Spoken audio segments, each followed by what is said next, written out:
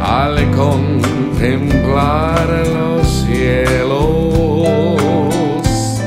el firmamento y las estrellas mil, al oír tu voz en los potentes truenos.